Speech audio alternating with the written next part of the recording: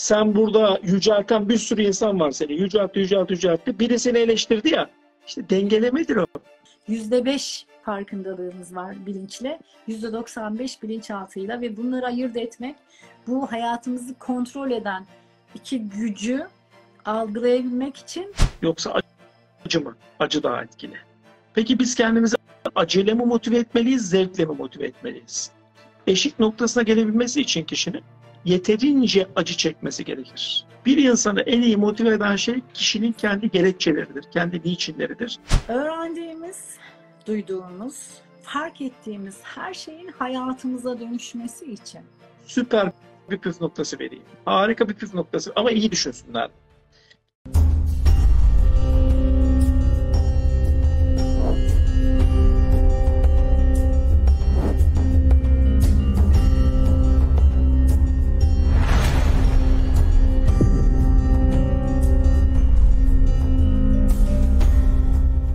Merhabalar, özlemişim ya. Biz kaç aydır mı yayın yapmıyoruz anlamadım ben. Uzun bir ara girdi araya. Tabii e, dediğin bir, bir ay geçti galiba. Senin de özel Hocam, evet. benim de öyle. 15 gün 15 günde bir yapıyoruz ama bu sefer bir şey oldu. 15 gün önce yapamadık. Bir ay oldu ama sanki böyle aylar geçmiş gibi geldi bana bir anda. Ee, Hüseyin Güngör hocam selam olsun. Merhabalar. Merhabalar. Özledik sizi de. evet. Evet hocam çok güzel bir konu başlığı. Vallahi konu başlığını bile görmemişim. Şimdi hayatımızı kontrol eden iki güç, acı ve zevk. Wow. Hedonizm, hazcılığı falan mı konuşacağız hocam? Emre Ziya Yazgan merhaba. Evet hocam. merhaba. Şimdi sevgili hocam, Mevlana'nın bir sözüyle başlayalım. Doğru ile yanlışın olmadığı bir yer daha var. Orada buluşalım diyor. Bunu biz bu konumuza uyarlarsak acı ve zevkin olmadığı bir yer var. Orada buluşalım. Farklı tabirle bir kez daha uyarlama yaparsak ödül ve cezanın olmadığı bir yer daha var. Orada buluşalım. Böyle. Oo, çok güzel. Müthiş. Evet.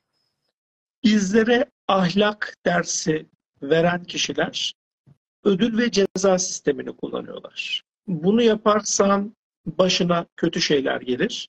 Bunu yaparsan başına iyi şeyler gelir. Fakat bu mekanizma kişinin anlayış geliştirmesine yardımcı olmuyor. Niye bunu yapayım da bunun sonucunda bu olur gibi bir mantık yürütme, akıl yürütme, idrak etme gibi kavramlar şartlanmış bir insanın başına asla gelmez. Çünkü şartlanma bizim ilkel benliğimize ait bir özelliktir. Bizim frontal korteksi kullanan tarafımız şartlanmayla çalışmıyor ki, idrakla çalışıyor, anlayışla çalışıyor. Özellikle okullarda acı ve zevk öğretilir. Şunu yaparsan sonunda acı var, şunu yaparsan sonunda zevk var. İlkel insanın zaten şöyle bakarsanız kutsal kitaplar da acı ve zevki kullanıyor. Fakat bu kimin için kullanıyor bunu düşünmek gerekiyor. Tabii ki kişi o boyuttaysa kurallara ihtiyacı var. Yani alt boyutlardaysa. Üst boyutlarda olan, alim olan, insanı kamil olan, kendini gerçekleştirmiş bir varlığın acı ve zevk motivasyonu diye bir şey söz konusu değildir. Mesela şimdi hepimizin bildiği bir örnek. Bir şeydesiniz, e, yolda gidiyorsunuz aracınızla. Kırmızı ışıkta gecenin ikisi, hiç araç yok, boş müsait bir ortamdasınız. Kırmızı ışıkta geçtiniz. Kırmızı ışıkta geçtiğinizde size ceza gelecektir değil mi? Veya durmanız da gerekiyor olabilir.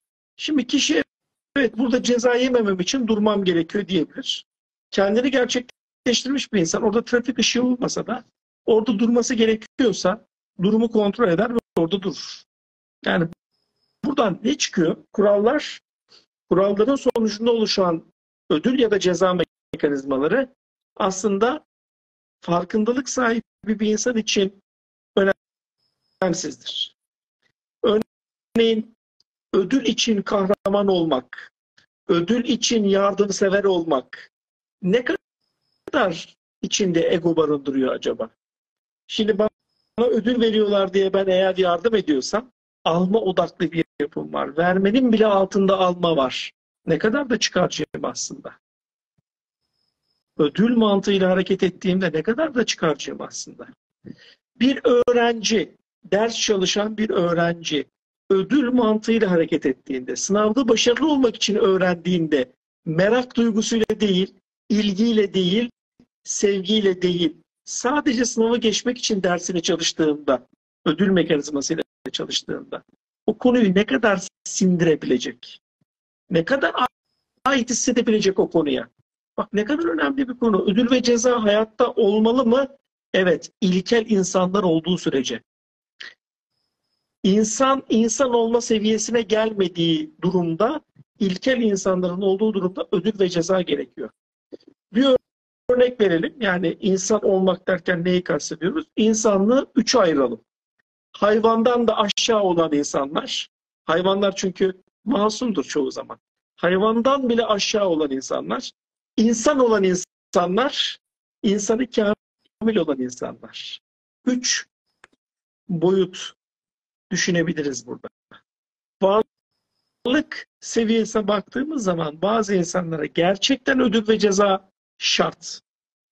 Ancak tekamül seviyemiz yükseldikçe, daha yüksek seviyelere gittikçe, olmamız gereken yere doğru gittikçe o zaman bakacaksın ki ödül ve ceza gerekmiyor. Ve bir de dikkat edersen sınıflarda öğrenci, öğretmenler soruyu bilene çikolata vereceğim der. ödül, ödül çikolatadır, gofrettir. Hani bilirsin böyle soruyu kim bilecek bildi. Gel sana gofret. Hangi ödülü verdiğin de çok önemli. Ödülü neye bağladığın da çok önemli. Çikolataya bağladığı için bugün Türkiye'de değil mi? Sağlıksız beslenme diye bir şey var. Niye? Ödül hep tatlı. Ödül hep çikolata.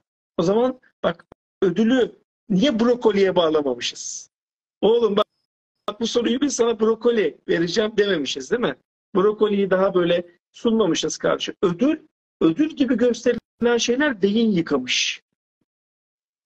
Belki çikolatanın yapımını görse, o gofretin yapımını belki, görse. Belki, belki brokoli vereceğiz deseydik bebekliklerinden beri değil mi? Belki evet. brokoliyi ödül olarak algılayacaklardı. Çünkü büyükler çocukları o Matrix'in içine sokuyor aslında değil mi hocam? Yani Kesinlikle. büyükler doğdukları andan itibaren yani dört anlaşma kitabı vardır. Ben çok severim. Miguel neydi soyadı? Ee, hatırlayamadım şu anda. Ruiz değil mi? Ruiz. Miguel Ruiz. Dört Anlaşma kitabının o kadar güzel anlatıyor ki Matrix'i doğduğumuz andan itibaren nasıl atıldığımızı. Şimdi doğduğumuz, doğan çocuklarımıza biz bak bunu yaparsan sana ödül olarak brokoli vereceğim, ıspanak vereceğim diye belki e, öyle empoze etmiş olsaydık belki çocuklar ıspanak yemek için bir yarış aslında, içine gireceklerdi. Aslında bak çok güzel bir noktaya değindin. Değil mi? Ispanağı aslında sevdiren kimdir? Temel Reis'tir. Bak Temel evet. Reis çizgi filminde ne yaptı? Evet. Hani güçlenmek için Temel Reis alıyor, atıyor ağzına ıspanağı ve bir anda güçleniyor ve Safinaz'ı kurtarıyor. E, dolayısıyla aslında çizgi filmler evet. de ödül olarak bak çoğu çocuk o çizgi filmden sonra ıspanak yemeye başladı. Şimdi yok herhalde o çocuklar değil mi? Yok. Yok. Evet. Şu an evet, o çizgi filmler yok. Ama mesela şöyle bir şey var. Ee, çocuklar tabii ki şu anki çizgi filmler maalesef ki olumsuz odaklıyor. Yani işte cinsiyetsizliği özendiren çizgi filmler var mesela. Eskiden çizgi filmler ne kadar güzeldi. Hatırlar mısın bilmiyorum. Bir Türk çizgi film vardır. Onun müziğini aradım ben. Benim adımla ilgili. Abdu, e, Sihirli Pabuçlar. Yani onun da şöyle bir müziği var hatırlatalım. Abdullah, Abdullah bir güzel oğlan. Abdullah, Abdullah bir küçük oğlan. Sihirliymiş pabuçları, sihirliymiş urganı. Bir de deve kuşu varmış. Devamı böyle gidiyor. Şimdi hatırlayamadım ama böyle güzel müzik koymuş. Güzel bir sihirli pabuçlarını giydiği zaman özel bir halısı var. Halıyla gidiyor ve kurtarıyor. Bak Abdullah diye çizgi film yapmışlar. Aradım ama çizgi film ortada yok. Herhalde telif haklarından dolayı ortaya koymamışlar. E, dolayısıyla eskiden çizgi filmler anlamlıydı. Mesaj verirdi. Çocukların gelişimine katkı sağlardı. Şimdiki çizgi film, şu an çocuklar çizgi film mi izliyorlar? Hayır, animasyonları izliyorlar. Animasyonlar tamamen yetişkinlere hitap edecek şekilde hazırlanmış. Yani bir yetişkin izlese gözünü kapatarak izlemek zorunda kalacak. Yani artı 18 falan yazman lazım animasyon. İşte bu şartlanma ta çocukluktan geliyor dedik. Bu acı ve zevk şartlanmalarımız. Temel noktada şartlanmak, anlayış geliştirmenin önündeki en büyük engel dedik hatırlarsan. Sonuç odaklı olmak, sürecin keyfini çıkarma konusunda bizleri sakat bırakıyor dedik. Bizlerin aslında e, doğal öğrenme e, içeriğimizi bozuyor. Doğal öğrenme gücümüzü bozuyor. Yani burada acı ve zevk konusuna tekrar yine geri dönecek olursak ilkel insanın acı ve zevke ihtiyacı var. Ödül ve ceza olmadan kötülük yapma potansiyeli çok yüksek olur. Ee, ama insan olanın ve insanı kamil olanların aslında bu noktada e, acı ve zevk, motivasyon ikizine ihtiyacı yok. Çünkü acı ve zevk aslında bir motivasyon ikizi. Fakat hayat öyle bir döngüdür ki şimdi sana çok enteresan bir bilgi vereceğim. Sanatçılarla ilgili bir bilgi vereceğim. Şimdi biliyorsun sanatçılar sürekli övgü alırlar değil mi? Ya da siyasetçiler de sürekli övgü alır. Sanatçılar, göz önünde olan insanlar sürekli övgü alır. E, fakat hayatın bir dengeleme sistematiği var. O da şu. Bir insana fazla övgü verirsen o kişi kibre düşebilir o kişi kendi kendinde olanı görmeyebilir. Abartılı bir histeriye kap kapılabilir. Ama birileri onu eleştirdiğinde bu eleştiri işini kim yapar? Medya yapar. Magazinciler yapar değil mi? Sanatçılarla ilgili olumsuzlukları bulurlar. Bazı sanatçılar da o magazincilere çok kızar. Der ki mesela sen nasıl da benim özel hayatıma giriyorsun, benim hakkımda yalan haber yapmışsın, kötülemişsin, beni şunu yapmışsın. O magazinciye dua etmesi lazım. Sebep şu dengeleme işini yaparlar magazinciler. Yani sen burada yücelten bir sürü insan var seni. Yüceltti, yüceltti, yüceltti. Biri seni eleştirdi ya. İşte dengelemedir o. Mesela Aziz Sancar Nobel ödülü aldı. Herkes alkışlıyor. Harikasın. Nobel ödülü aldın. Mükemmelsin. Senden daha iyisi yok dediler. Ve Aziz Sancar eve gitti. Eşi dedi ki, eşine dedi ki ben dedi Nobel ödülü aldım. Eşi de dedi ki Hadi şu çöpleri bir dök bakalım. ne oldu biliyor Süper. musun? Bak, bak burada Nobel ödülü aldın diye gittin. Çöpleri dök dedi. Eşi o kibri dengelemek için devreye girdi. Dengeledi. Bak, müthiş. Dengeleme oyunu o kadar önemlidir ki anne babalara muhteşem bir öneri vereceğim şimdi. Beni dinleyen anne babalara. O muhteşem öneri şu. Diyelim ki anne ve baba çocuğu daima destekliyor. Sürekli destekliyorlar. Hayat onun zıttını karşısına çıkarmak için onu zorlayan arkadaşlar ya da onu zorlayan bir öğretmen hayatına girer ve onun hayatında zorlayıcı etkiler oluşturur. Köstek olur ona. Sen çok destek olursan köstek olurlar ona. Bak, dengelemek için.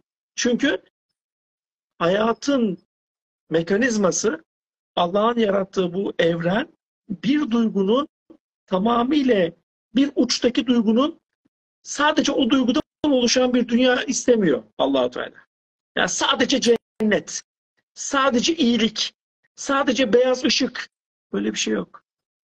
Sadece zevk, haz sadece olmasın diye dengeleyici bir şey hayatına girer. Ve işte orada bunun normal olduğunu bil. O zaman çiftlere tavsiyem şu. Bak çiftlere de tavsiyem şu mükemmel gidiyorsa aranızdaki ilişki, arada birbirinizle küçük çatışmalar yaşayın. Neden? Dengeleme yapacaksın. Yoksa dengeleyemezsin durum. Optimum denge modeli değil mi hocam? Bu bahsettiğim optimum denge modeli değil ama acı ve zevkin belli bir dengede olması gerektiğiyle ilgili kadim bir bilgi. Yani e, acı ve zevk eğer dengede olmaz ise dengededir zaten ama kişi dengede olduğunun farkında değildir. Mesela bir yine bir örnek verelim. Aşık oldunuz birine. Bütün güzel duyguları, bütün keyfi, bütün zevki onda görürsün değil mi? eksiklerini görmezsin, hatalarını görmezsin, kusurlarını görmezsin, acı verici yanlarını görmezsin, sıkıntılı yanlarını görmezsin. Görmezsin de görmezsin, görmezsin de görmezsin. Kimin görmezsin? Sevdiğin insanı görmezsin. Ne yaparsın? İyi yanlarını abartırsın. O zaman sen, sen o kişiye gerçekçi bakamazsın. O kişinin iyi yanlarını abarttığın, aşık olduğun kişi gerçekçi bakamazsın. Bir de nefret ettiğin kişiyi ele alalım. Onun da bütün kötü yanlarını saydın. O şöyle kötüydü, o böyle kötüydü, o şuydu, buydu, buydu, buydu, buydu dedin. Ona da gerçekçi bakamazsın. Onun da iyi yanları var. Bir insana gerçekçi bakabilmek için onun iyi ve kötü yanlarını birlikte görebilme anlayışına ihtiyacım var. Bu kabiliyete ihtiyacım var. Bunu yaptığın anda acı ve zevki objektif olarak görürsen o zaman senin davranışların da dengeli olur.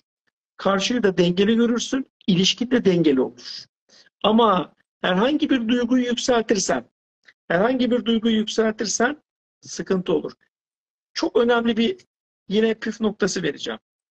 Vefat edenlerle ilgili. Hepimizin vefat eden yakınları var. Hem aileden hem aile dışında. İnsanlara şunu sorduğunda vefat eden kişiler hayatından çıktığından beri neleri kaybettin sorusunu sor. Diyecek ki işte sevdiğim insanın bakışı çok özeldi. Onu kaybettim. Beni desteklerdi. Onu kaybettim. Güzel sözler söylerdi. Onu kaybettim. Bana dokunurdu. Onu kaybettim. Önerilerde bulunurdu. Onu kaybettim. Peki hayatın bir özelliği var. O da şu. Kaybettiğini düşündüğün şeyler tekrar yaşamına otomatik olarak girer.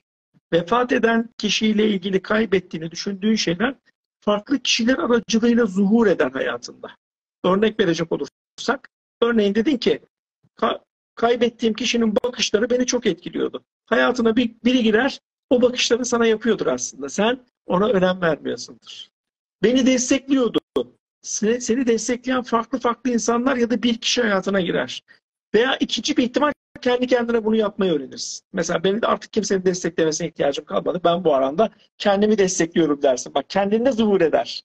Dışa senin kaybettiğini, vefat eden kişiyle ilgili kaybettiğini düşündüğün şeyler aslında şu an ve burada vardır. Bunu görebilmenin adı şükürdür. Bunu fark edebilmek aslında Allah'ın adaletsiz olmadığının göstergesidir. Hiçbir şey kaybolmamıştır. Her şey şu anda ve burada zaten var idi. Ama biz onu fark etmiyoruzdur. İkincisi takdir etmiyoruzdur. Fark ettiği fark edebiliriz de evet burada var ama takdir etmediğinde şimdi ve burada yaşama ihtimalin yok.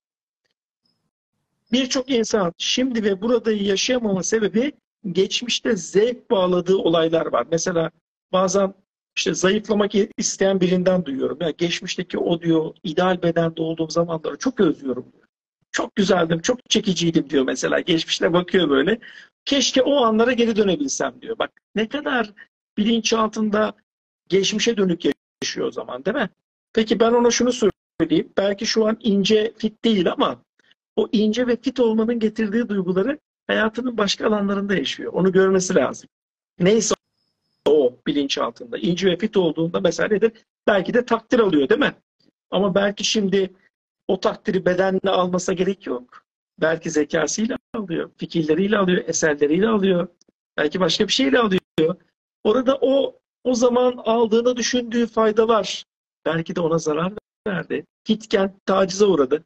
Belki de fit olduğu için kendini korumak zorunda kaldı. Bak o dönem yaşadığı fayda gibi gözüken şeyler zarar olabilir. O dönemin faydaları zaten şu anki hayatının içinde olabilir. Farklı formlarda olabilir. O formu gör farklı formlarda gelir. Aynı formda gelmez. Farklı formlarda gelen, geçmişten getirdiğin ama özlem duymak yerine aslında şu anda onun bir takım kişilerle ve hatta senin kendi içinde o faydaların zaten var olduğunu fark ettiğinde muhteşem bir değişim yaşarsın. Şu an ve burada olmayı yanlış anlıyor insanlar. Şu an ve burada olmak şu demektir. Şu anki tam tamlığı görebilmek demek. Şu anki tamlığı gördüğün zaman tamlık, şu an tam, her şey var çünkü. E, önceden de vardı, ben niye görmüyordum? Evet önceden de vardı ama sen ya oraya gözünü kapatmıştın, böyle geziyordun Veyahut da görüyordun ama takdir etmiyordun. İkisi olabilir. Her ikisinde de acı ve zevk kodlamamız maalesef ki yanlış işler. Evet hocam. Yorumları Evet sevgili galiba. Bir taraftan Açtım, da ona açtım. bakıyorsun. Tabii tabii sürpriz demo yayın sonunda bu arada sevgili canlarım. Siz ikiniz benim hayatımı değiştiren insanlarsınız. Teşekkür ederim. Allah razı olsun. Birlikte değişiyoruz gerçekten. Ee, demoyu ben de bilmiyorum. Demoyu yayın sonunda ben de öğreneceğim. Bilmiyorum. Sizinle birlikte aynı anda öğreneceğim. Hocam gerçekten bu çok ince bir detay. Deminden beri o kadar güzel şeyler anlattınız ki. Ama bunu algılayabilmek e, çok o kadar da basit değil gerçekten. Yani çok o, acayip detaylı şeyler anlattınız. Çok basit görünüyor. O kadar da basit değil uygulamak. E, hayatımıza onları e, uygulayabilmek, dönüştürebilmek. Hani bilsek bile teorik olarak pratiğe dökmek Bir ustaya ee, çok zor. var. Çünkü hayatımızı kontrol eden iki güç diyoruz bunlara. Hayatımızı Doğru. kontrol eden iki gücü e, ayırt edebilmek için e, her zaman yine farkındalığımızın açık olması lazım. Bilinçaltımızın açık olması lazım. Oysa ki e, bilinçaltımız yani her yayında mutlaka dönüp dolaşıp bilinçaltına geliyoruz. Bilinçaltımız asıl bizi yönetiyor ve biz e, bilincimizle sadece yüzde beş hareket edebiliyoruz. Yüzde beş farkındalığımız var bilinçle. Yüzde doksan beş bilinçaltıyla ve bunları ayırt etmek bu hayatımızı kontrol eden iki gücü algılayabilmek için e, bilinçaltımızın yönetiminin bizde olması lazım sanki. Aslında aslında bilinçaltının gücü bizde. Şimdi şöyle acı ve zevk gücünü biraz daha açalım. Ödül ve ceza sistematiğini kendi hayatımızda kullandığımız zamanlar oluyor. Şimdi acı insanı değiştirir. Fakat yani acı bazen insanları neden değiştirmiyor? Acı çekiyor ama neden değişmek istemiyor? Yani zararını biliyor. Acı çekiyor derken de basitçe gidelim. Zararını biliyor. Ama niye bırakmıyor o kötü davranışı, yanlış hatayı? Öfkeli olmanın zararını biliyor. Niye devam ettiriyor? Sigaranın sağlığa zararlı olduğunu biliyor. Niye devam ettiriyor? Madem acı değiştiriyordu, neden değiştirmedi? Cevap çok basit. Acı eşiği dediğimiz noktaya gelmediler. Eşik noktasına gelebilmesi için kişinin yeterince acı çekmesi gerekir. O zaman acının sihirli dostunuz olduğu zamandır o an. Mükemmel bir andır. Acı sana destek olur. O acının geldiği anı insanlar genelde şöyle tarif ederler. Derler ki tam o anda ben artık o kişi olmak zorunda olmadığımı fark ettim. Artık ben o değildim. O kişiden sıyrıldım. O bedenden sıyrıldım. O ruhtan sıyrıldım. Onu karşıma aldım gibi cümleler eder insanlar. O büyük değişimlerin harifesinde o kadar çok acı çekmiştir ki o benliğiyle o benliğiyle özdeşleşmekten artık geri durur, bırakır. Özdeşleşmesine gerek duymaz. Ayrım yaratır bilinçaltında. Bunun sebebi şudur. O insanlar gerçekten acı eşiğine gelmişlerdir. Ve acı eşiğine geldiği için de değişim hızlıca gerçekleşir. Peki, e hocam acı eşiği dedin de e, zevk eşiği var mı? E var o da var. Şimdi bir şeyden çok fazla keyif alırsan değişirsin. Bir şeyi çok özlem duyarsan yani keyif alırsan, keyif duygu, keyif alacağını varsayarsan, bak alman gerekmiyor. Keyif alacağını varsayarsan bir anda değişirsin. Peki acı mı daha etkili, zevk mi daha etkili dersen, yani hoşlanmak, bir şeyden keyif almak yoksa acı mı? Acı daha etkili. Peki biz kendimizi acıyla mı motive etmeliyiz, zevkle mi motive etmeliyiz? Zevkle motive etmeliyiz. Ya da dengeli bakış açısına sahip olmalıyız. Dengeli Hocam. bakış açısında acı ve zevke gerek yok çünkü. Denge yine her, yine her zaman olduğu gibi den- dengeye geldik. Şey de Schopenhauer'ı ben çok severim. Hakikaten Schopenhauer aforizmalarında şey der. En büyük mutluluk der. En büyük haz daha doğrusu en büyük haz acısızlıktır der.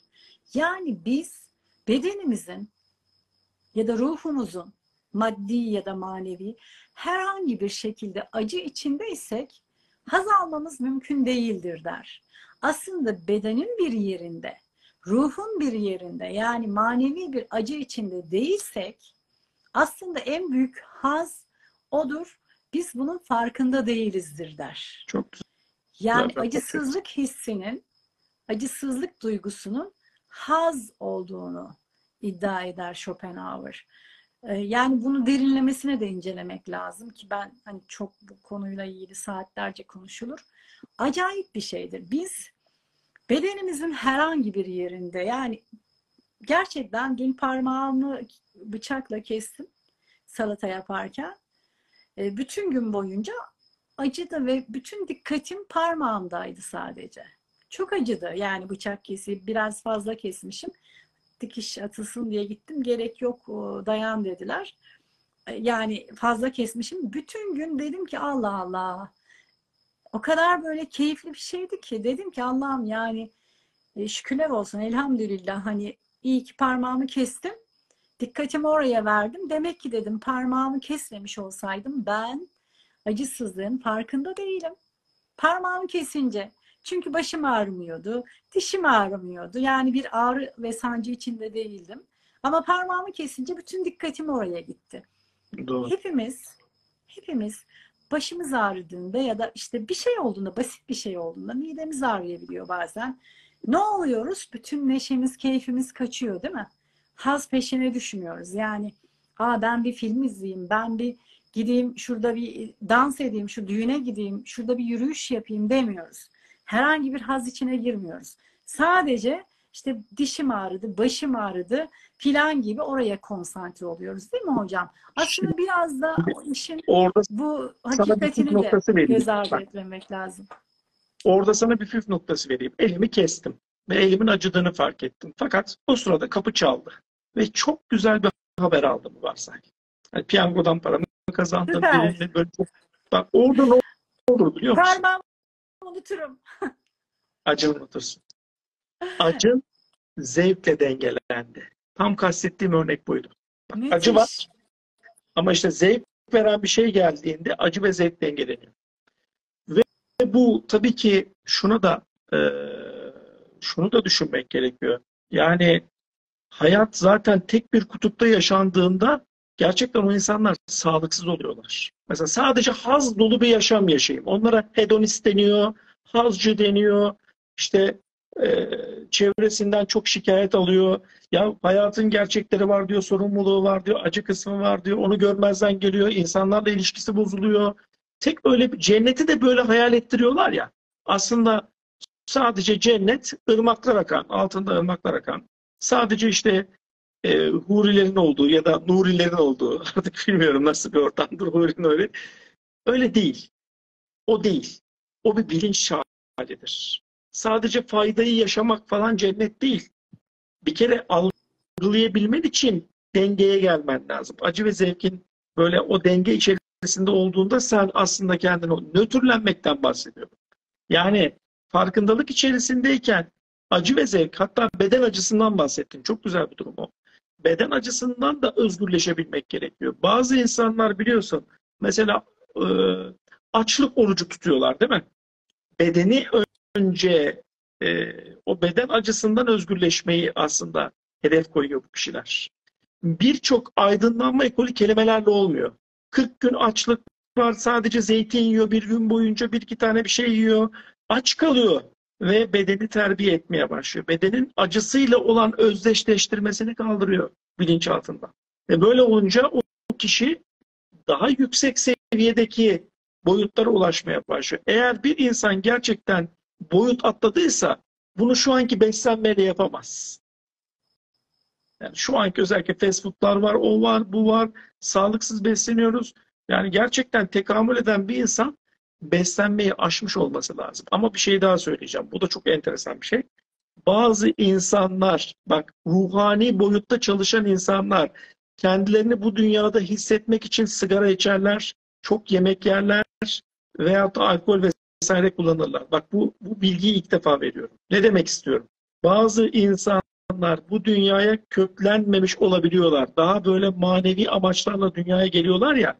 Dünyevi olmayı unutuyorlar. Dünyaya köklenemiyorlar. Dolayısıyla o, bu insanlar farkında olmadan yemek yerler, sigara içerler, alkol kullanırlar.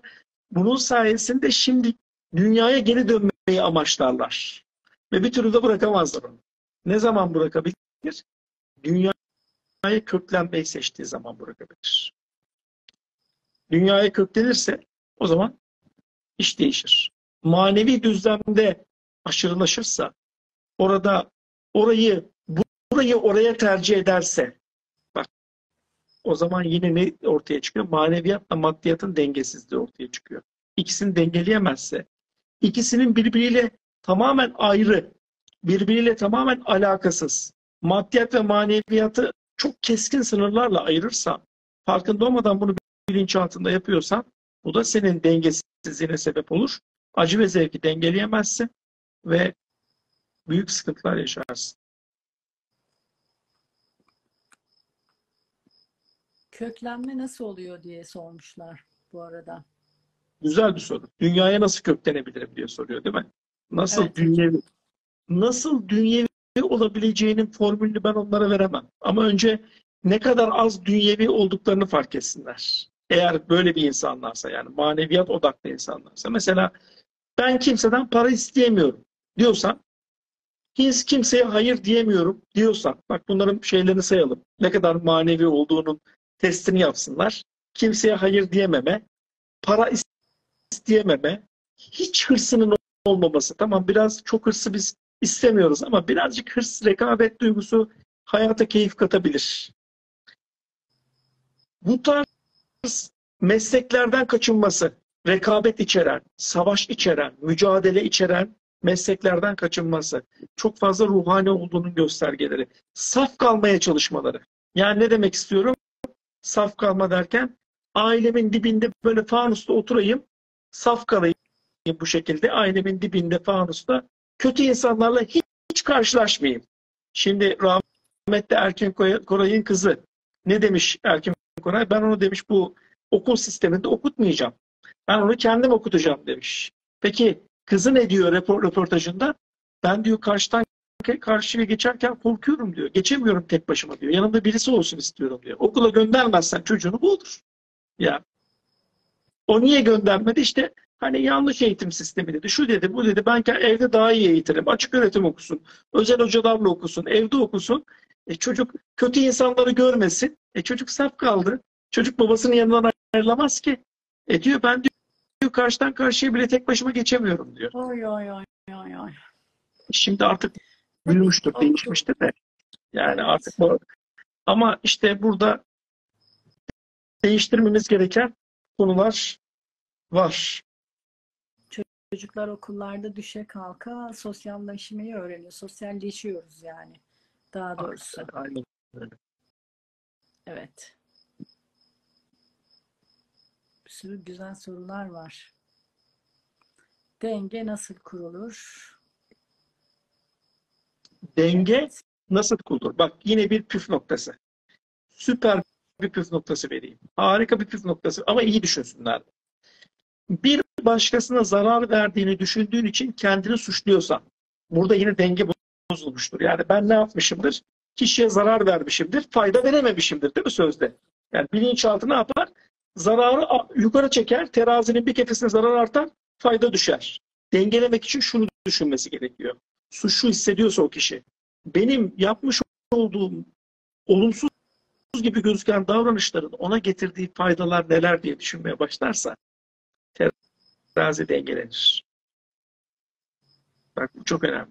Benim yapmış olduğum hatalı gibi gözüken, ona zarar verdiğimi düşündüğüm davranışlar onun hayatına ne gibi faydalara yol açtı? Acı ve zevk bir anda dengelenir. Bunu düşünsün, otursun, yazsın. Otomatik olarak acı ve zevk dengelenir. Mükemmel şekilde dengelenir. Peki tersten gidelim. Tersten gidelim. Yani gözünde abarttığı, kutsallaştırdığı birisi var. idolleştirdiği birisi var. Onun da eksiklerini düşünsün, hatalarını düşünsün. Bak göreceksin dengelenir. E peki kendinden yola çıkalım. Şimdi kendimin iki noktası var. Bir, olumlu özellikleri var. İki, olumsuz özellikleri var. Eğer sürekli olumsuz özellikleri düşünürsem bende ne oluşur? Aşağılık kompleksi. Peki sürekli olumlu özelliklerimi düşünüp de olumsuz özelliklerimi görmezden gelirsem bende ne oluşur? Gurur, narsizm, kibir. Hmm. Demek ki kendimi nasıl görmeliyim bu durumda? Kendimin olumsuz özelliklerini göreceğim, evet. Kendimin olumlu özelliklerini göreceğim, evet. Ama bu ikisini kendi içimde bir denge halinde göreceğim. Birinden birini fazla gördüğümde denge bozulur. Yani denge hem kendi içimde olması gereken bir şey, acı ve zevk dengesi, hem diğer insanlarla olan ilişkimde olması gereken bir şey. Geçmişten kopamamak ve hakikaten bunu yine sormuşlar. Yine uyanışa ve farkındalığı sağlamam için nereden başlamam, ne yapmam lazım? Uyanışı. Evet. Zaten bu soruyu sorduysa bu arkadaşımız, bak uyanışı fark etmem için nereden var? Fark etmişsin zaten. Sen artık ben uyanmam lazım çünkü uykudayım demişsin. Fark edişinde bir sıkıntı yok. Yöntemini soruyor bize. Yani ben madem diyor uykuda olduğumu fark ettim, zaten uyanık olduğunu fark et. Zaten uyandın. Soruyu sormuşsun, soruyu sor. Bak uykuda olan bir insan ben uykuda uykudaymışım diye soru sormaz. Neden uykudayım diye soru sormaz. Uykudadır zaten. Ve toplumun yüzde 98 uykudadır. Kendi hapishanesinde yaşar. Özgür olamadan yaşar. Başkaları ne der? O esaretin bir bölümüdür. Bir bölümü şartlanmalardır. Acı ve zevk şartlanmaları. Çocukken şartlamışlar ya onu. Yani şu kötüdür, bu iyidir, bu böyledir, şu şöyledir. Evet. Bir de e, şimdi konu, konudan kopuyoruz ama sorular da var sevgili canlarım. sorabilirler. Her şeyi sorabilirler. Maneviyat yüksek insanlara neler önerirsiniz demiş. Yani denge için sanıyorum.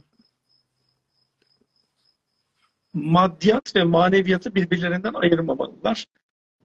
Daha doğrusu bencil olmakla aslında onların öğrenmeleri gereken temel şey şu. Bencil olmak ve sencil olmak arasındaki aslında çok keskin bir ayrım olmadığını düşünmeliler. Yani ne demek istiyorum?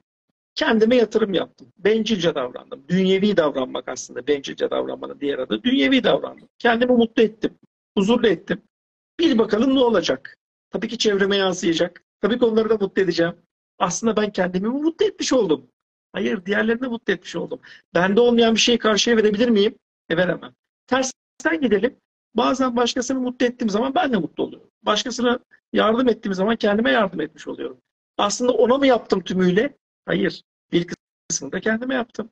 Aslında kendimi düşünmüş oldum başkasını düşünerek. Yani ne demek istiyorum? Başkasını düşünmenin içinde kendini düşünmek var. Kendini düşünmenin içinde başkasını düşünmek var. Önce bunu bil. Dolayısıyla yaptığın eylemleri manevi düşünen insanlar için söylüyorum. Aman çok bencilce yapmamalıyım diye düşünme. Bazen gerçekten sağlıklı bencilce olan davranış biçimleri seni geliştirdiği gibi çevrene vermeni sağlar. Mesela birinden para istemek. Seans yapacaksın, danışmanlık yapıyorsun, yaşam koçu oldun. Bizim eğitimlere katıldın, gittin birilerine çalışma yapacaksın. Hocam para isteyemiyorum. Para istemediğinde sence ona fayda sağladığını mı zannediyorsun? Hayır. Ondan para istediğin zaman onun faydasını görecek. Küçük de olsa bir şey istemelisin. Onu kendin için harcarsın ya da harcamazsın. O başka bir şey. Yani alma verme dengesi var. Alma verme dengesi aile diziminde aynen şöyle geçer. Aile dizimi sistemi diyor ki aldığından biraz fazlasını ver, verdiğinden de biraz azını istemeyi bil. Bak, denge sağlama oyunu burada. Yine başka bir olay. Birine çok iyilik yaptın. İyilik yaptın, iyilik yaptın. Sevilen biri olur musun? Çevrendeki herkese iyilik yaptın. Sevilen biri olur musun? Olmazsın. Neden peki seni sevmezler? Herkese iyilik yapıyordun. Neden seni sevmiyorlar peki? Bu kadar iyilik yapan bir insan niye sevmezler ya? Çünkü onları güçsüzleştirdin. Onları zayıf düşürdün. Peki hocam ben herkese yardımcı oluyorum. Onların beni sevmesi için ne yapabilirim? Onlardan yardım iste. Onlardan destek iste. O zaman kendilerini nasıl hissedecekler? Kurban güçsüz değil, ben de güçlüyüm. Ben de yardımcı olabildiğime göre ben de bir güçlü bir bireyim. Ezik hissetmeyecek kendini. Zayıf hissetmeyecek kendini. Dolayısıyla yardımın fazlası gerçekten bilinçaltı düzeyde o insanları güçsüz düşürür. Bu neye benzer? İşte kozasından çıkmaya çalışan o tırtılın kelebek olması gerekiyor ki ama onun için de tırtılı delmesi için, tırtılı aşması için kendi mücadelesine ihtiyaç var. Vay işte buradaki tırtıl çok mücadele ediyor. Ben kozasını açıvereyim dediği zaman kelebeğe dönüşemiyor. Ha, o zaman 3K kuralı devreye giriyor. 3 tane K harfi. Yaptığın yardım kişisel görmeyeceksin. Birinci K, kişisel görme. Çünkü bencillik devreye girer. İki, kalıcı yardım diye bir şey yoktur. Bir süre yardımcı olabilirsin. Ben buna kalıcı 8 yıldır yardım ediyorum falan. Böyle bir şey olmaz. Kalıcı yardım olmaz. Üç, kapsamlı yardım olmaz. Kişisel görme, kalıcı ve kapsamlı yardım olmaz. Ne demek istiyorum? Kapsamlı derken nedir? Oğluma öyle bir kapsamlı yardımda bulunayım ki oğlum gelişsin. Zayıflatırsın. Zayıflatırsın oğlunun kızını neyse. Kapsamlı yardım olmaz. Yardım etmemenin kendisi yardım etmektir bazen. Bak çocuğa, çocuğa yardım etme, yardım etmiş olursun. Bak hayat ne kadar garip.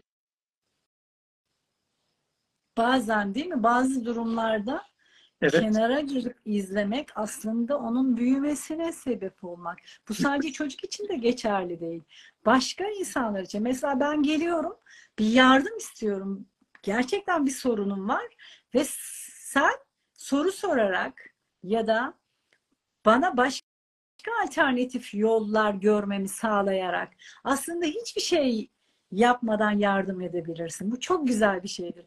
Yani benim çözmemi e, benim çözmemi, olur. kendimin çözmesine vesile olursun. Aslında ben çözerim. E, ama yani sizden yardım aldığımı fark etmem. Ya da sizden yardım alıyorum zannederim. Aslında ben kendim çözmüşümdür değil mi? Asıl gerçek hakiki yardım budur. Hem çocuklara hem dostlarımıza diye düşünüyorum. Tabii. Bir öyle, bir de şöyle düşün mesela. Bak mesela sen bu programları yapıyorsun. Herkese faydalı oluyorsun. Ama kendin faydalanmıyor musun zannediyorsun? Tabii, en tabii. büyük faydayı sen Evet. alıyorsun. En Tabii. büyük faydayı sen alıyorsun. Ve dışı, dışarıdakiler de alıyor. Senin fayda almandan da çevren etkileniyor bak. Sen fayda aldığın zaman işine gücüne odaklanıyorsun. Daha oradaki çevrendeki insanlara yardım ediyorsun. Ee, belki şimdi sana soruyorlardır. Hocam kaç saat nasıl çalışabiliyorsun? Bu enerjiyi nereden buluyorsun diyorlar değil mi? E çünkü Evet. kaz- bence sen üç kazanı kullanıyorsun. Üç kazan. Nedir diyeceksin üç kazan? Ben kazanayım. Karşımdaki kazansın ve bizi dinleyenler herkes kazansın. Üç kazan. Evet. Aslında gerçekten bugün cumartesi akşamı biz cumartesileri birlikteyiz sizinle. Herkes dışarıda eğleniyor, tatilde, bir yerlerde. Buradaki canlar şu anda ne yaparsa yapsın. Televizyonda film izlemek yerine burayı izliyor. İki Doğru. tane cümle öğrense şuradan fark etmeden hayatı değişir insanın ya. Hiç fark. Ben de dediğiniz gibi her gün mecburen buradayım. Ee, eskiden iki saatti. Şimdi bir saat 15 dakikaya kadar indirdik yayınları. Fark etmiyor. Bir saat 15 dakika tembellik yapmak yerine şurada konuğumu dinliyorum. Mecbur dinliyorum. Şu anda işimi yaptığım için. Mecbur dinliyorum. Dinlemek zorundayım. Ve orada ben konuyu sevsem de sevmesem de mutlaka bir şeyler öğreniyorum. E ben değişmeye başladığımda çevremdekiler de bundan faydalanıyor, değişiyor. Bu sizler için de e, aynı şey sevgili canlarım. Bu sizler için de geçerli. Burada siz dinliyorsunuz, sizin etrafınızdakiler de sizin öğrendiklerinizden faydalanıyor aslında. Sadece siz değil. Ve fark etmeden şeyler değişiyor, algılarımız değişiyor. Yani 3 yıldır burada olan güzel canlarım, 3 yıldır vallahi hocam inanın öğretmenim diyen insanlardan artık yani yıllardır ben koçluk yapıyorum diyen kardeşlerimizden çok daha güçlü, çok daha böyle eğitimli oldular. Üç yıldır burada bir buçuk iki saat dinlemek ne demek? Yani gerçekten Aldı yürüdüler hepsi. Allah razı olsun hepsinden. Onlara da bunun tabii ki her bilginin bir neyi var aslında değil mi? Bir geri dönüşü olmak zorunda. Onların da kendi hayatında bunun karşılığını vermek durumundalar. İşte senin e, hep söylüyoruz ne diyoruz? Takipçileri buraya yönlendirin. Mukaddes Hanım'ı takip edin. Abdullah Cantes'i takip edin. E, Lemurya Akademi'yi takip edin. Neden diyoruz bunu? Ya da takip ettirin. Yani zaten takip ediyor da onlar. Ama vesile olun. Çünkü bu sistemin büyümesi o kadar önemli ki. Yani çünkü burada biz Türkiye'nin ne kadar fazlasına hitap edebilirsek şu bilgilerle, senin anlattığın o güzel konuklarınla, şu verdiğim bilgilerle emin ol farkındalığı yüksek olan insanların çevresine katabileceği en az 10 kişi bu değişimden faydalanır. Ee, kelebek etkisi yaratır. O yüzden Ve hocam bir kişinin değişimi 300 bin kişi derler e, bazı kadim gelenekte.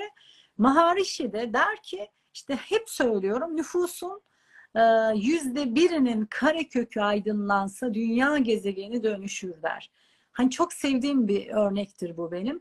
Bunları yaptılar biliyorsun şeyde e, Amerika'da e, hangi eyaletindeydi bilmiyorum. 3 ay boyunca deney yaptılar. Hep birlikte meditasyon yapıldı. Ne hırsızlık, ne cinayet. O kadar azaldı ki hocam. Yüzde onuna indi. doğru. Hırsızlıklar ve cinayetler şehrin frekansı değiştiği için. Şimdi buradaki her bir canım çok özel. Çok bana göre benim için kutsal varlıklar. Çünkü kendilerini yetiştirdiler. Yani tabii ki burada da 10 tane vardır kardeşimiz. Dalga geçmek için gelmiş, karıştırmak için gelmiştir. Şu anda burada da vardır. Ama gerisi ben şahidim ki her gün burada eğitimdeler hocam. Yani hiç mümkün Evet. değil elimizin boş çıkması. Allah razı olsun şuraya gelen bütün hocalarımızdan. Hepsinden gerçekten çok büyük şeyler, katkılar aldık. Bence bir Sağ olsunlar. farkındalık iklimi oluşuyor bak e, Mukaddes Hanım. Ben ne demek istiyorum farkındalık iklimi derken? Mesela nasıl e, romanlar, e, Rus romanları belli bir dönemde çıktı değil mi? Dostoyevski, Tolstoy, şudur budur belli bir dönem. Bazı bilimsel gelişmeler belli dönemlerde çıktı. Bazı kitaplar belli dönemlerde yazıldı. Neden? O dönem bir iklim oluşuyor. Başarı iklimi, farkındalık iklimi. Şimdi işte burada e, eğer biz buradaki gücümüzü, farkındalık iklimimizi güçlendirebilirsek o zaman bu yayıla yayıla bir taşın dalgası gibi tüm Türkiye, tüm dünyaya yayılacak. Ben şöyle düşünüyorum. Şu an biz gerçekten şu e, bilgilerimizle, tartıştığımız, anlattığımız şeylerle dünyanın çok ötesindeyiz.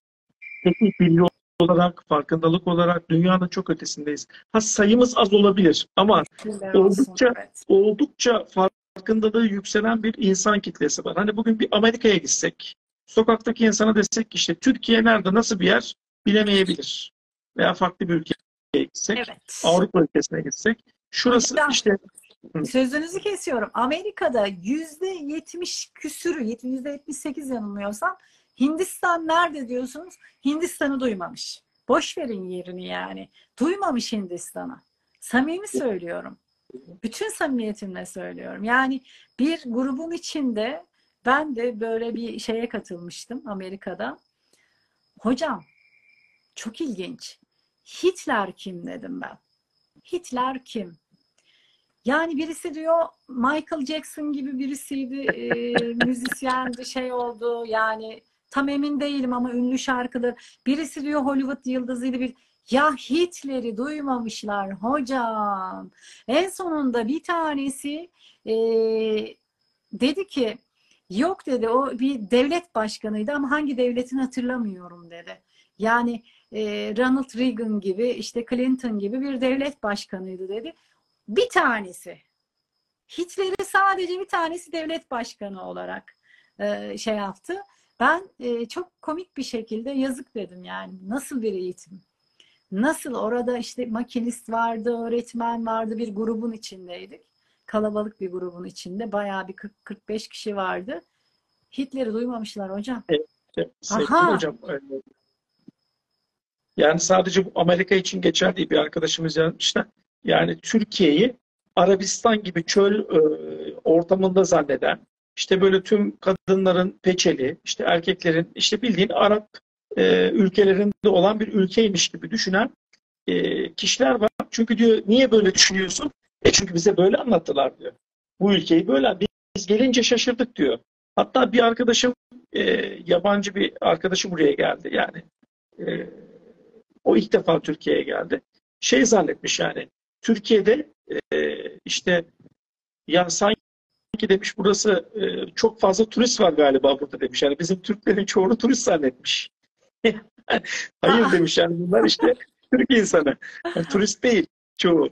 Şimdi yani düşünebiliyor musun? Dolayısıyla burada hem e, taraflı bir anlatım var. Taraflı tarih, taraflı e, propaganda diyelim daha doğrusu birçok ülke e, hatalı ve yanlış propaganda yapıyor. Ha, şimdi internetin kısmen artmasıyla, yolculukların kısalmasıyla insanlar birbirlerine çok daha fazla tanımaya başladı. Yabancı ülkelerle bizim aramızda çok büyük farklar yok. Bugün YouTube'a istediğin e, ülkeyi yaz, orayla ilgili bir tanıtım videosuna rastlarsın yani. Aslında bilgiye ulaşmak da bu kadar kolayken cahiliz. Bu arada öyle de söyleyelim yani illa gidip görmek gerekmiyor her yere. Açtığın anda birçok kaynak var. Kitaplar desen işte gördüğün gibi bir sürü baskı kitap var. Hangisini okuyabileceğiz? Dönem ne dönemi biliyor musun Mukaddes Hanım? Bilgi dönemi değil. Bilgi dönemi geçti. Bildiğini uygulayabilenler kazanıyor şu dönem. Bilgi güçtür diyorlar ya. Bilgi güç değil, bilgiyi eyleme geçirebilmek güç. Çok şey bilip hiç harekete geçmeyen bir insan bu hayatta başarısız olurken az şey bilip onu harekete döken, eyleme döken kişi çok hızlı başarılı olabiliyor. Eylem güç. Bilgi kullanıldığında güç. E, peki ben bilgiyi nasıl kullanacağım? Bir kere yani şunu düşünsünler. Hayatlarında tefekkür etmeden eğitim alıyorlar. Tefekkür etmeden kitap okuyorlar. Bak senin programların faydası da biraz bu. Neden? Bir konu üzerine iki saat boyunca tartışabiliyoruz burada oturup. Ne oluyor? Açılımlarını dinliyor kişi. E şimdi ama gündem nereye geldi? Reels videoları. Bak Reels videoları ben de çekiyorum şimdi. Sen de çekiyorsun pratik bilgiler diye. Bir dakikada bunu e, derdini anlatmak zorundasın. E ben evet. belki uzun bir şey anlatmak istiyorum. Farkındalıklarını açmak istiyorum. Hayır o kadar vaktin yok. Bir dakikada derdini anlatacaksın. Hayat buraya geldi. Ben, ben, ben size daha kötü bir şey söyleyeyim. Benim Instagram şirketim diyor ki Mukaddes Hanım ilk 15 saniye izleniyor. Sonrakiler izlenmiyor. Bilgin ola diyor. Ya. Yani ilk 15 saniyeye bırakacaksın mesajını. Yani o kadar okumuyoruz artık. Din, ona da tahammülümüz yok. Hap gibi yutacak. İlk 15 saniyede bilgiyi verdin, verdin. Vermedin, zaten gerisini dinlemiyor. Bu yani. Kesinlikle. Sabır, sabır 15 sabır kalmamış. saniyede verilmesi Sabır. lazım bilginin. Evet. Evet. Hatta Evet. 15 saniyede dikkat çekmen gerekiyor. Mesela çok önemli bir şey söyleyeceksen o ilk 15 saniye dikkati çekemediysen o kişi zaten seni o önemli bilgiyi kaçıracak. Güçlü hocam Evet. hoş geldiniz. Merhabalar, hoş geldiniz. Evet, sevgili hocam. Ne? Bir şey söyleyecektim unuttum. Evet. E, şeyde miyiz? Nerede kaldık? Saatimiz kaç? Bakayım. Hocam bir toparlayalım konumuzu o zaman. Toparlayalım ondan sonra şeye geçeriz. Demomuza geçeriz inşallah. Özet, özetleyelim. Acı ve zevki. Özetleyelim canım hocam. Evet. Şimdi ne demiştik? Acı ve zevk motivasyonumuzu sağlar. Fakat acı ve zevkin ötesine geçersek insan oluruz. İnsan olduğumuzda acı ve zevk şartlanmasına göre hareket etmemize gerek kalmaz. Anlayış ve farkındalıkla hareket ederiz. Acı insana evet motive eder ama acı eşliğine gelmen lazım dedik. Eşiğe gelmediysen harekete geçemezsin. E, acı eşiğine gelmenin yolu aslında hayat kendi, kendi kendine getiriyor acı eşiğine. Özel bir şey yapmalarına gerek yok. Hayat otomatik olarak getirir. İkincisi acıyla zevki dengelemeleri lazım. Acı ve zevk dengelenmediğinde tarafsız bakış açısını kaybederler. Olayları olduğu gibi göremezler, gerçeği çarpıtırlar. Dolayısıyla mutlaka bir yere doğru fazla yön alıyorlarsa onu fark etsinler. Yani bir insana fazla olumlu yönler yüklüyorlarsa o kişiye zevk bağlıyorlar demek. Bir kişiye olumsuz yönler o kişiye acı bağlıyorlar demek. Aslında insanlar dengededir. Ee, onun dışında ne dedik? Farkındalık dedik, acı ve zevk, hapiste olduğunu fark et, özgürleş ve özgürleşebilmek için ne yap? Acı ve zevk gücünü eline al. Son olarak, öneri olarak şunu yapabilirler. Çok basit bir öneri vermek istiyorum. Bu dönüştürmek istedikleri şeye acı bağlasınlar, acı ve zevkle değişmek istiyorlarsa. O şeyi isteğin dönüşmüş haline de zevk bağlasınlar. Yani şöyle düşünelim. Sigarayı bırakmak istiyorlarsa sigara içmenin zararlarını bir kağıda yazsınlar. Ama acı eşiğine gelinceye kadar. Acı eşiğe gelmezse bir işe yaramaz.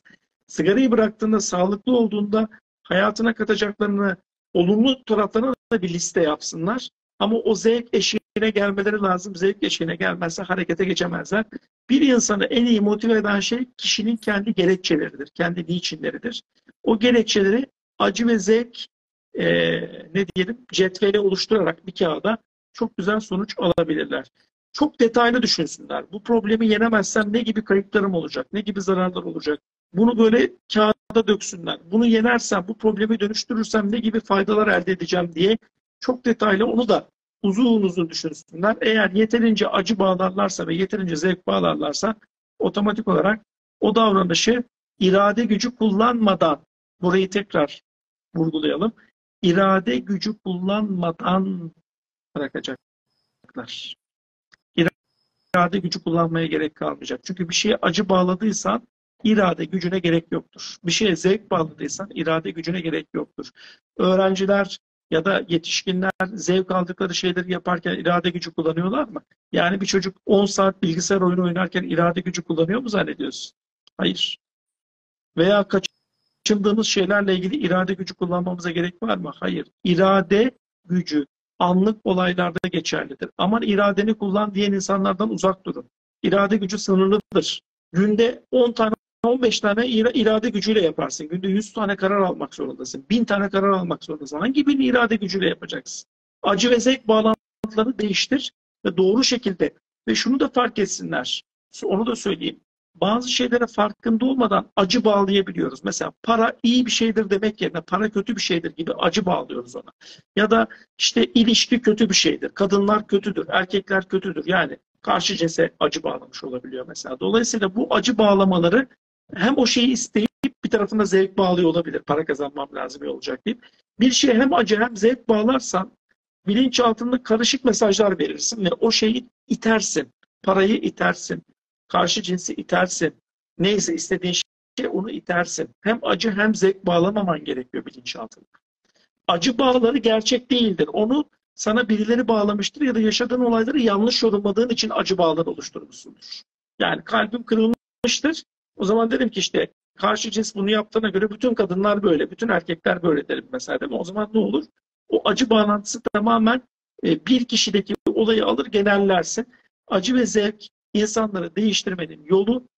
Bunu reklamlar çok güzel yapar. Sevdiğimiz şeyleri zevke bağlarlar, hoşlandığımız şeyleri ve e, hoşlanmamız gereken şeyleri belirlerler ve onları zevk unsuruyla özdeşleştirirler. Sevdiğimiz sanatçılarla yaparlar, işte bir yiyecek reklamı ise onu çok güzel görsellerle yaparlar. Neredeyse televizyondan kokusunu duyacağız yiyeceklerin. O derece güzel yapıyorlar. Müzikler, sesler, jingle'lar.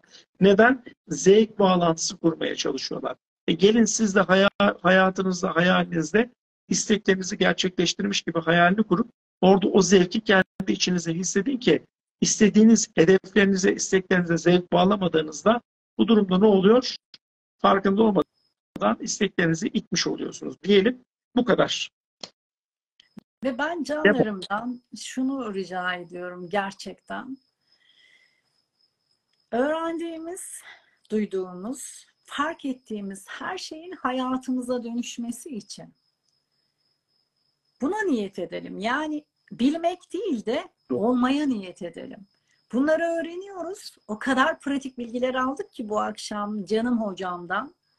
Bunları hayatımıza uygulayalım. Hani bunu benim sık sık artık hatırlatma ihtiyacı duyuyorum. Çünkü artık uyanış zamanı geçti. Artık pratiğe dökme zamanı geldi. Start verdik. Artık neydi? Start verdik. Ve bunları mutlaka ve mutlaka hayatımıza dökmemiz lazım. Nietzsche der ki her neyi, neyi ki hayatına uygulayamıyorsun ona kulakların da kapalıdır. Bakar mısın? Her neyi ki hayatına uygulayamıyorsan ona kulakların da kapalıdır.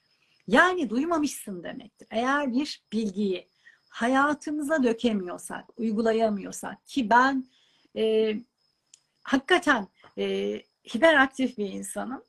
Normalde çocukluğumdan yaratılışım odur benim. Bir taraftan tasavvuf 40 senedir ilgilendiğim bir şey, içinde olduğum bir şey. Hakikaten bir sakin. Bak yayının başında nasıl celalleniyorum Celal Yanım. Ya bir sen Yunus, Emre senin rehberin. Sen bir edepli ol, bir sakin ol, bir akışta ol, bir dengede ol. Yani ben kendim uygulayamıyorum. Hani siz benim yaptığıma bakmayın, dediğimi yapın derler ya. Ne olur şu dediğimi yapın. Hakikaten bizim bir dengeye gelmemiz lazım. Kesinlikle uygulamaya koymamız lazım. Hal ehli olmamız lazım. Bilgide kalıyoruz. Bilmek başka bir şey, olmak başka bir şey. Sakın alınmayın. Ben kendime söylüyorum, mukaddese söylüyorum. Yani bir olmak yolunda bir adım atalım. Olmak yolunda bir niyet içinde olalım. Artık bunları yavaş yavaş pratiğe de dökmemiz lazım. Her gün şurada öğreniyoruz, öğreniyoruz, öğreniyoruz. Okuyoruz, duyuyoruz. Ansiklopediler okuyoruz. Artık olmaya geçmemiz, hale geçmemiz lazım. Ne olur bunu artık birbirimize hatırlatalım inşallah. Buna niyet edelim. İnşallah. Canım hocam, e, demomuzu yapacağız. Bir kere sürpriz demomuz. Demomuzu bunun devamında yapıp YouTube'a da mı koysak yoksa ayrı mı açalım onu hocam? Valla bugün menopoz demosu yapalım diye düşündüm. Önemli bir demo. Ve e, e, burada kalsın menopoz demosu. Yayın şeyde de kalsın. Neden menopoz demosu? Bu konuda gerçekten hanımefendiler çok istiyorlar yani bu demoyu yapın ve daha önce Ama yaptık güzel şi- hocam, güzel hocam, can hocam. Burada şimdi bir 8-9 tane kilo demosu geldi. Yaz hı. dönemi. Acaba daha Ağustos, Eylül var. E, Ekim'in ortasına kadar falan var. Yani canlar menopoz mu yapalım yoksa kilo mu yapalım? Ben- Hocam kilo yapsak Bence menopozda bak bence menopozda da çok fazla istek olacak. Çünkü e, ben en çok e, istenen bir demo olduğunu düşünüyorum. Kilo demosunu önceden duyurusunu yapmak lazım. Ama menopoz demosunda kilo hocam söz ver. Yok söz falan vermedik. Nereden çıkıyor bunlar ya? Kilo daha çok geldi. Menopoz geldi. Kilo yayının başından beri kilo geliyor da. Hay Ya Allah. onlar bizi onlar bizi manipüle ediyorlar şu an. Kendi istekleri olsun. Menopoz var bak iki oldu. Kilo da var, menopoz da var. Bilemedim şimdi. Bak menopoz tekrar geldi. Bak çok önemli bir şey e, aslında biliyor musun? Menopoz demosu. Neden? Çünkü e, dişil özellikler, kadınlık hepsini kapsadığı Evet. için. Canlar şimdi menopozu 35 yaşında canlarımız da e, menopoz demosu. Çünkü orada sadece menopoza girmek durumu değil, e, hormonsal durumda var. Onun için bence e, bütün kadınların e, evet bir dahaki e, yayınımızda 15 gün sonra kilo demosu mu yapsak hocam? Olur. Kilo Hay demosu Allah. Bunu önceden oturup düşünüp e, o insanları da toparlamak lazım. Şimdi çok kişi bekliyordu. Sürpriz Evet. demo menopoz demosu olsun. Bence çok kişi menopoza geldi. Menopoz demosuna 35 talep oluştu. yaşındaki canlarımız için de bu menopoz demosu, demosu Evet. önemli.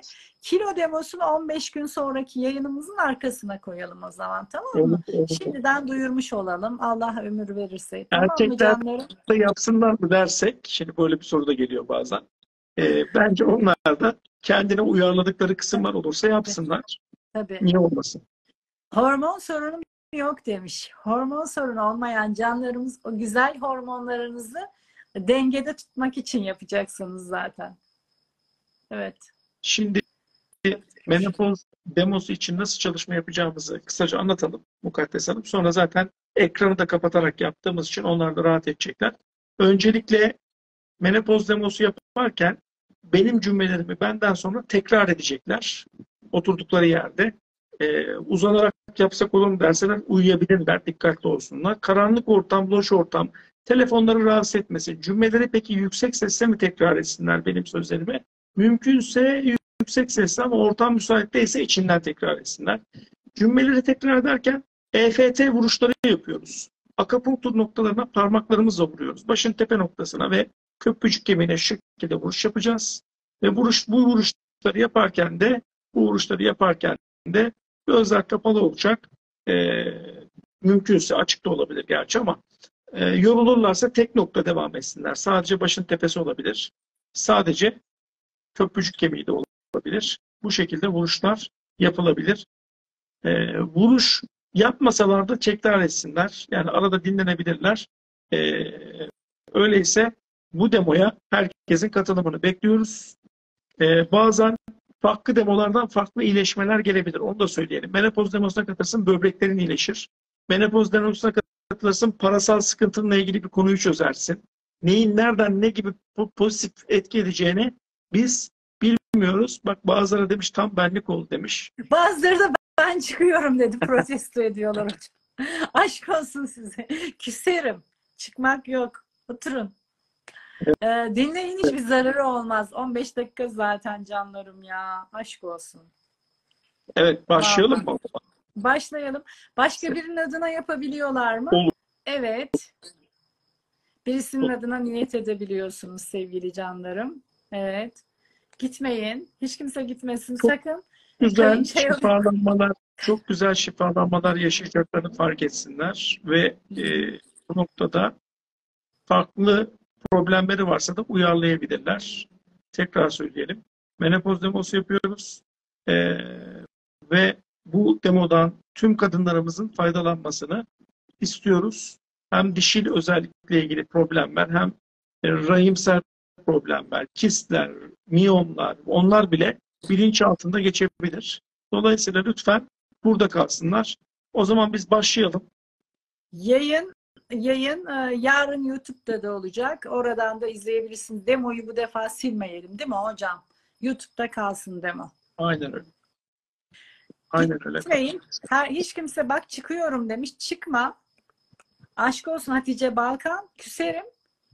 Başka bir işe iyi gelecek belki. Hadi bakalım ben yorumları kapatıyorum. 15 dakika dayanın bakalım. Haydi. Şimdi herkes şifalanmaya niyet etsin. Menopoz demosu yapıyoruz.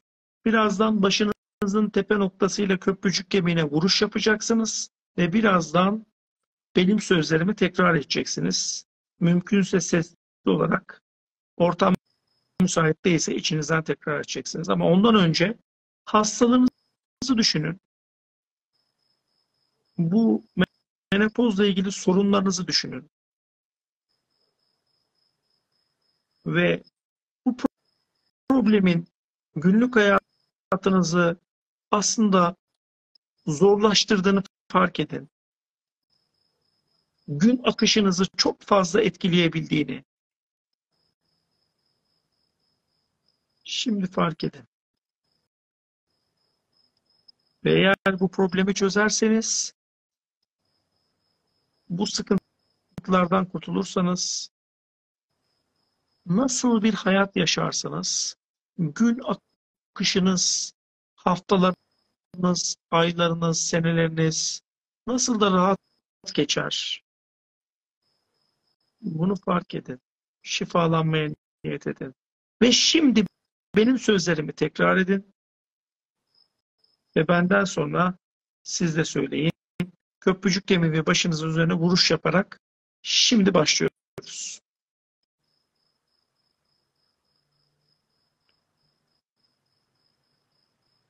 Hayattan doyasıya faydalanamadım.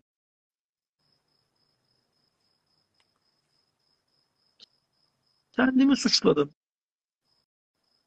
Şunu neden yaptım? Şunu neden yapmadım? Bunun pişmanlığıyla yaşadım.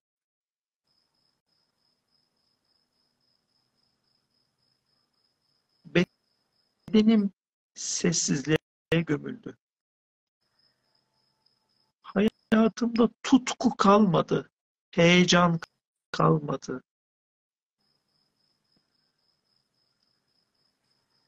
Kendime hiç öncelik vermedim. Kendi cinselliğimle tam anlamın tam anlamıyla barışıklık yaşayamadım.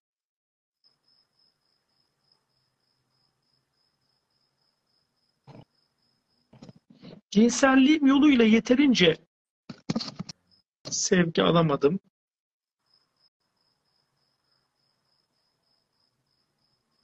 Sevgi alamayacağım. Sevgi alamadığıma karar verdim. Kendimi baskıladım. Kendimi korumaya çalıştım. Ve kendimi korumak için direndim.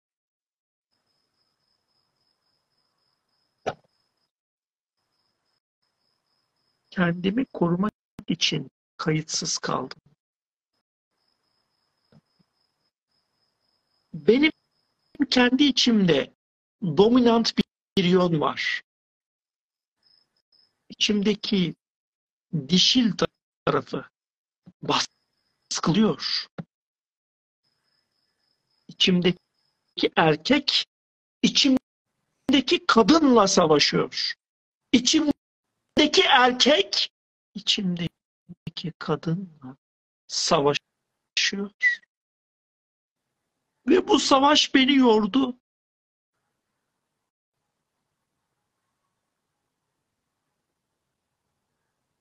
Ve bu savaş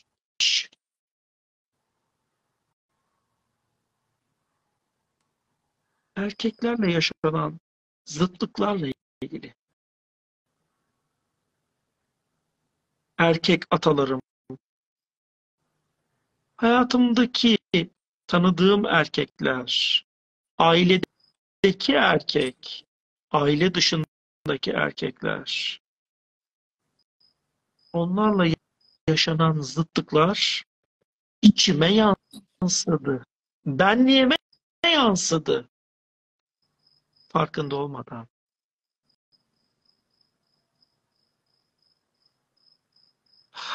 Bu yaşadığım sıcak basmaları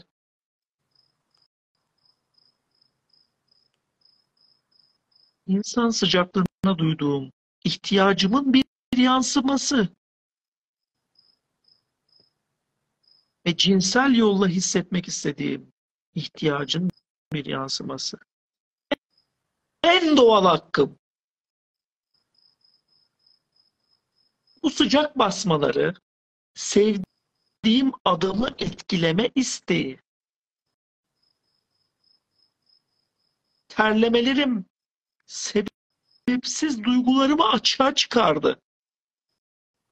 Bastırdığım duyguları açığa çıkardı. Artık yeni bir hayata doğmam gerekiyor. İçimdeki kadına ulaşmam gerekiyor.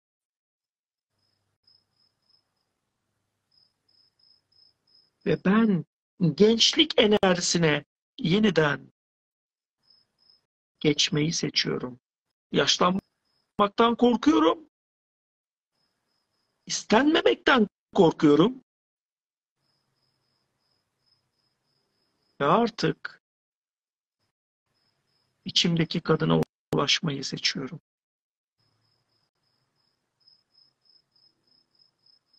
Onu sarıp sarmalıyorum. Dişil özelliklerimi, kadınlığımı, kadınsılığımı sevgiyle kucaklıyorum. Sevgiyle kucaklıyorum. Sevgiyle kucaklıyorum.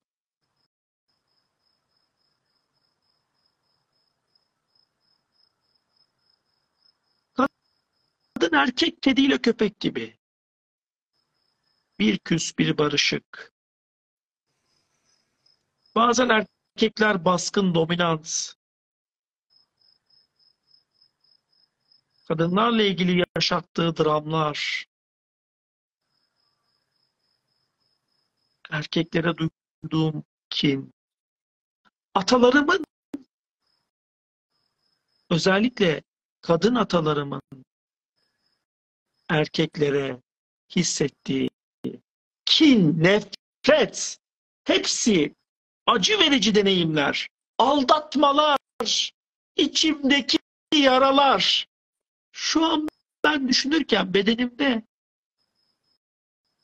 ne kadar geçmişten gelirse gelsin, ne kadar bana ait olmasa da bugün beni etkileyebilmekte.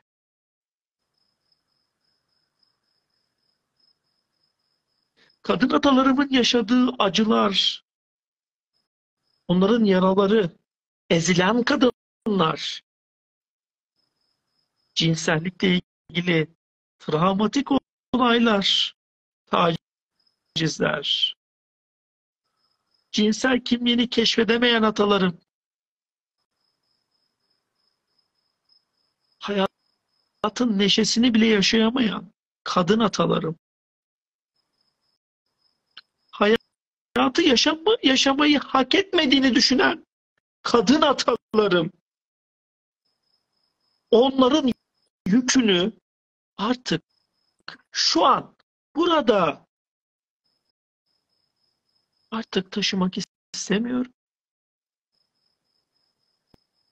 Bunların yaşadıklarını anlıyorum. Hepsini fark ediyorum. Ben artık dişiliğimle barışmayı seçiyorum.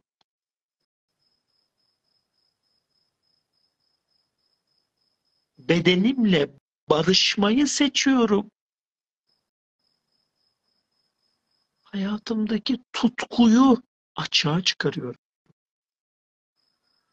Kendimi sevmeyi seçiyorum. Tüm gerginliklerden şimdi bugün burada kurtulmayı seçiyorum. Ve özellikle erkekler için duyduğum kin, öfke, nefret ve buna benzer tüm bu duyguları birer birer serbest bırakıyorum.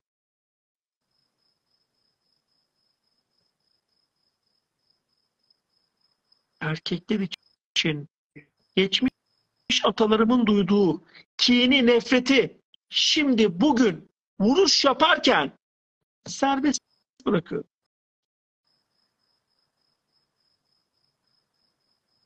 Ve menopoz esnasında çıkan acı verici günümün akışını etkileyen tüm gerginlikleri, tüm sıkıntıları, tüm aksaklıkları şimdi bugün burada birer birer serbest bırakıyorum. Tüm bedenimden serbest bırakıyorum. Ruhumdan serbest bırakıyorum. Bedenim gevşiyor. Ve menopoz gerçek bene yeniden dönüş demek. İçimdeki gerçek ben. Kendim için yaşayan ben. Yaşım ilerledikçe neşe, sakinlik, koşulsuz sevgi beni sarıp sarmaladı.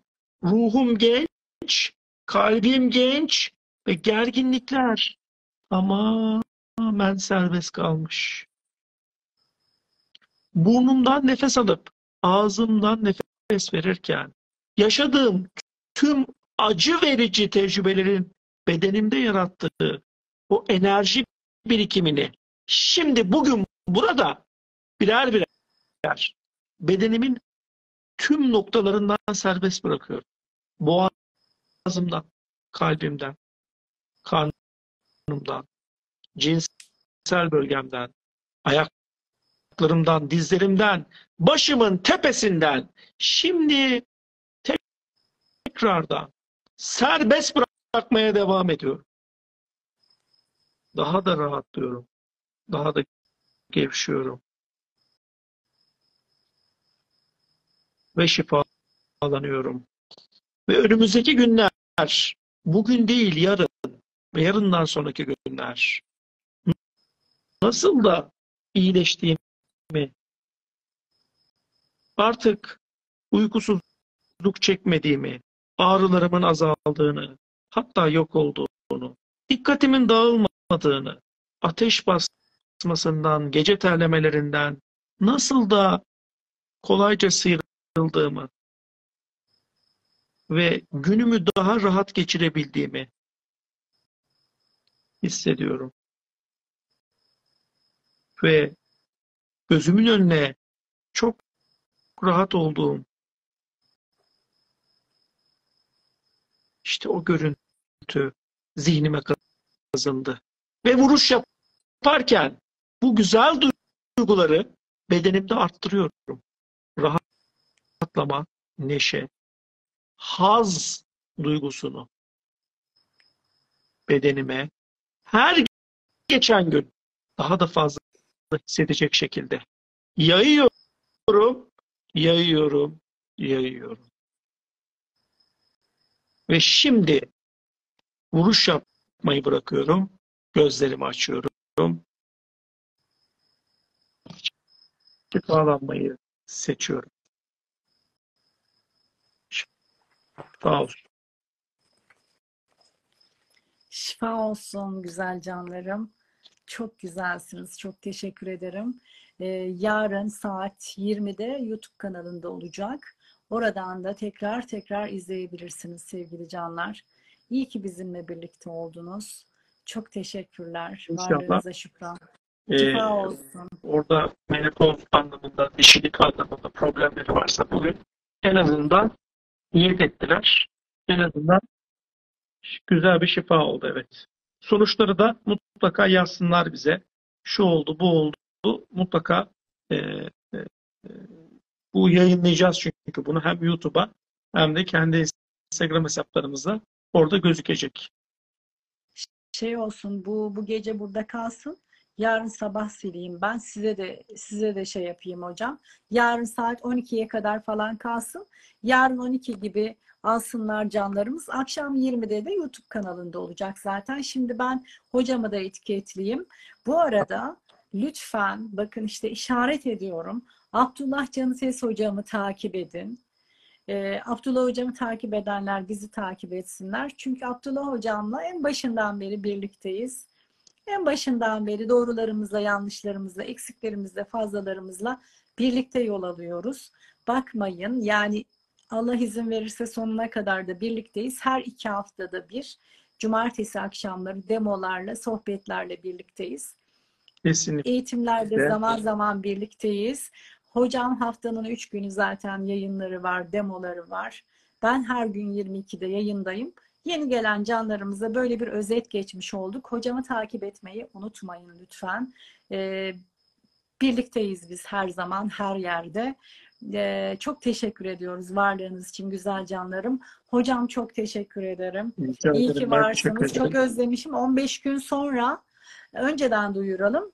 Kilo demomuz var sevgili canlar ve kilo demosunu artık bayağı bir yani bir hafta falan bırakmak lazım.